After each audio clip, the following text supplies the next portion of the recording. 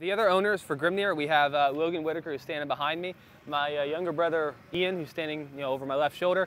Uh, we have my buddy Wes Green and then Jake Lurs uh, are the other co-owners and partners. We do a kind of a futuristic sci-fi focus on our events, um, so we chose that because honestly, um, if you do stuff in you know current times, you're kind of limited, but with our events, we can take it in really cool, unexpected directions. Each field we go to, we try and pick different biomes so they represent different planets, right?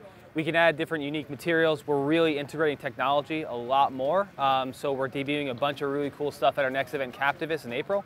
Uh, so we have like remote hacking capabilities we're gonna put into our events. So we have like milestones players are driving towards.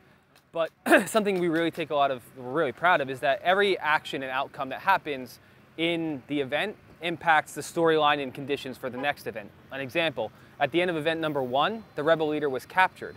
So episode two went from, you know, we had a couple different options and we picked the, the prison break. So now the rebels have to go break him out. Every event we're trying to add new elements. So for example, the technology, the big thing technology-wise we had at event number one, uh, were hacking terminals. My, my partner Wes, he created these really awesome, uh, this, this program essentially. You'll go onto an actual device or computer um, and you'll play a game. When you play that game, you'll either get uh, a reward, so it'll unlock something, it'll spit out a USB drive, it'll do something. But if you failed it, uh, it dropped a grenade on you and it would lock out. But now you can actually remotely access these terminals through your phone, right? And there will also be laptops. So um, the, uh, on the terminals, there'll be a bunch of different options uh, and you'll be able to pick an option and those options all kind of lead towards um, one of the main objectives. We call them prime directives. So maybe it's codes for one of the prison cells. Maybe it's uh, the code to turn off the prison light. We have a drone strike actually that's going to debut at uh, episode two. So it's a it's a, a, drone.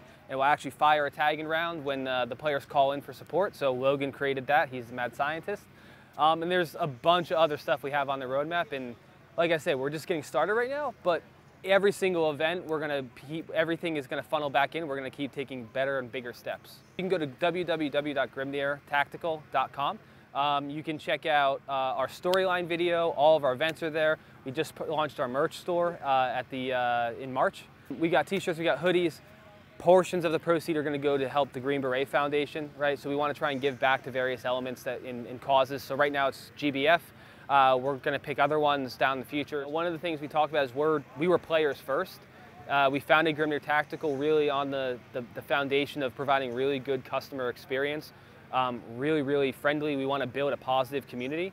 Um, and then we want to just keep this story going. We think we're doing something fairly unique. Um, we're really, really proud of it.